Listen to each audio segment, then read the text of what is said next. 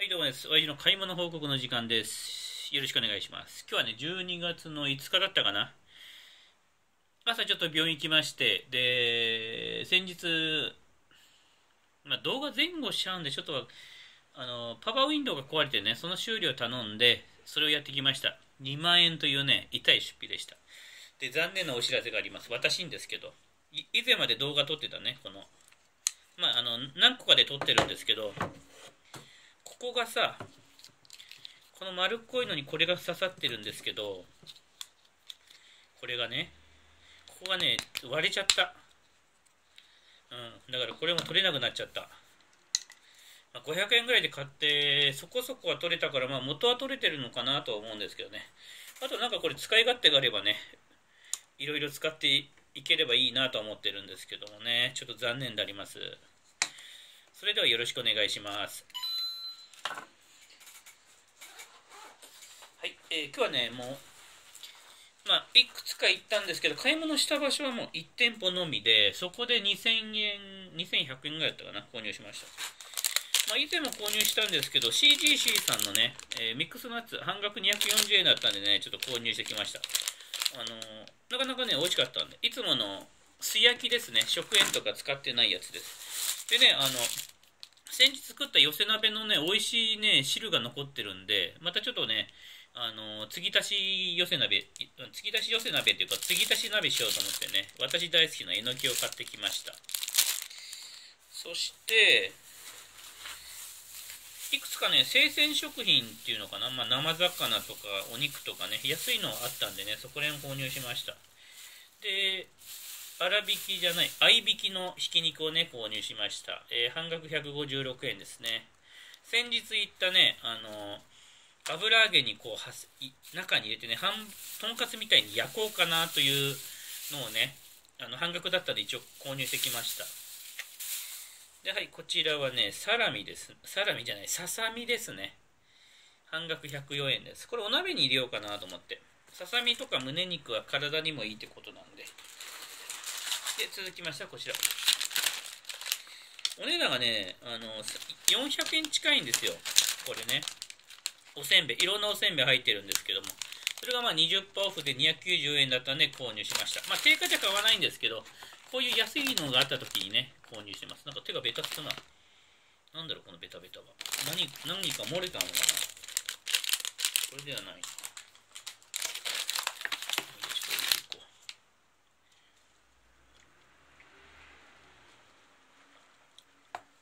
今日も4日なんで、以前言ったセブンイレブンさんのコーヒーが変わってるんですけど、なんかよく見たらね、あの、この間のコーヒーのサムネに書いてあるんですけど、ホット、キリマンジャロブレンド、ホットいくらって書いてたんで、アイスコーヒーとかは通常なのかなとね、まだ確認してないんですけど、ホットに関してね、言えば、キリマンジャロに変わるのかなという感じました。続きまして大根です。はい。えー、30円。半額カット30円ですね。半額じゃ半分カット30円。まあ、鍋といえば大根っていうのもあるんでね、購入しました。続きましてはこちらです。まあ、最近ちょっとね、魚食を目指してる部分もあるんですけど、トロ味っていうのね、半額で149円だったんです。前からちょっと気にはなってたんですけど、まあ、この機会にちょっと買ってみようかなと思って、まあ、トロ味っていうぐらいだからね、油のり抜群。お魚さんの油はいいと言われておりますのでね、えーいいんではないかなと思ってね、購入してきました。今更ながら健康に気を使っております。まあ、というのもね、以前から言ってる、あのー寿命の長さに興味はないんですけど、ぽっくりいきたいというね、そういう願望のもとです。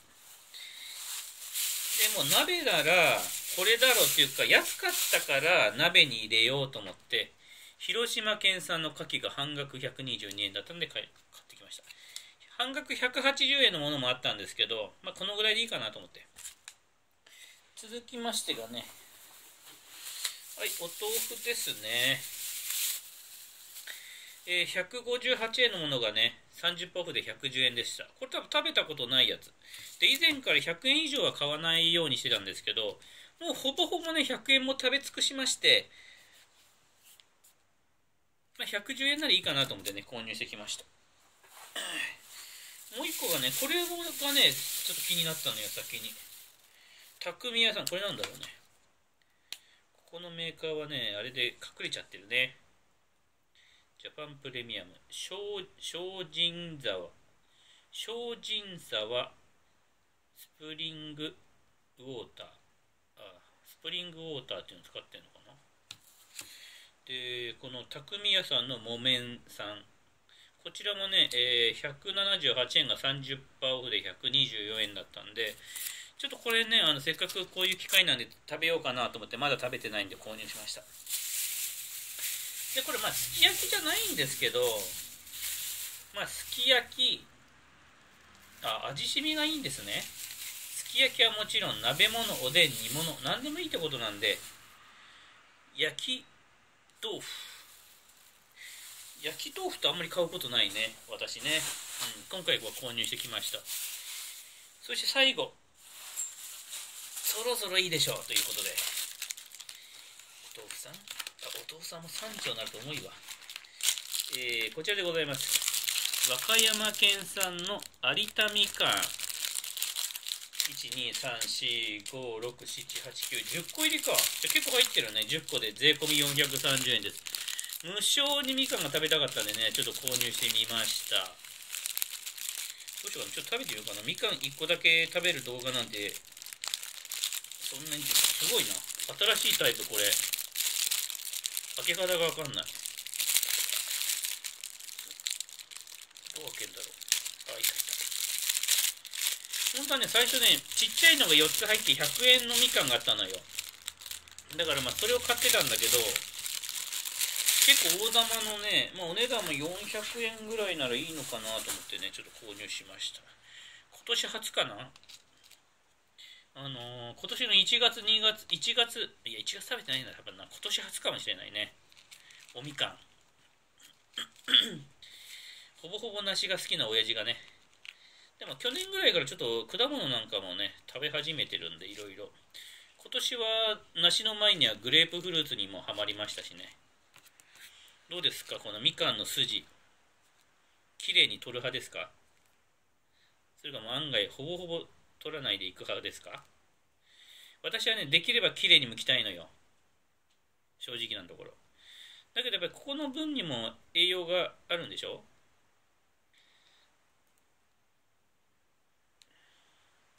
なんでね、本当は取らない方がいいのかなと思うんですけど、なるべく取りたい親父でございます。はい。今日はね、グラコロ買ったのよ。グラコロ美味しかったな。まあ、あれ、ああいうのにもね、もちろん好みがあるし、あとファストフードなんでね、健康面とかで食べない方もおられるんでね、まあ一概にね、あの全てに人にどうこうってわけじゃないんですけど、まあああいうの食べても大丈夫で、前から気になってるんだけどとかさ、カニクリームコロッケとかそういうクリームコロッケ好きなんだけどって人にはちょっと食べてほしいなとね、思っております。いやみかんの香りがいい香りだ。このぐらいでいってみようか。あうん。アメージング。正解。甘い甘い。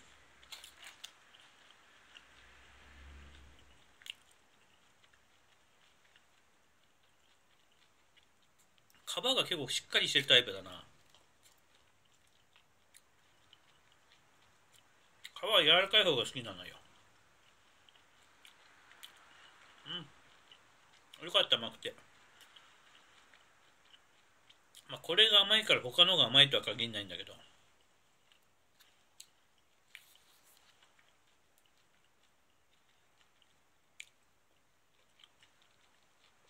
うん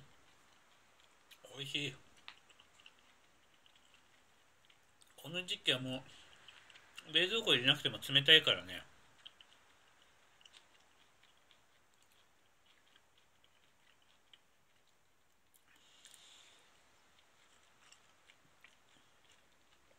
うん。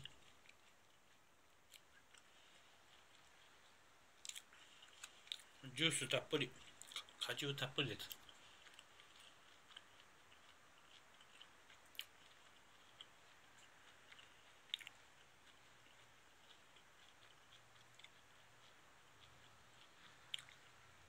ってことで ごちそうさまでした。以上買い物報告の紹介になりました。いつもありがとうございます。それではまた。バイバイ。